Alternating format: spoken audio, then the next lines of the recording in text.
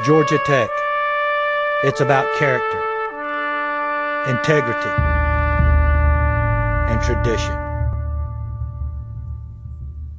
This is more than just a game. Today's students are tomorrow's hope.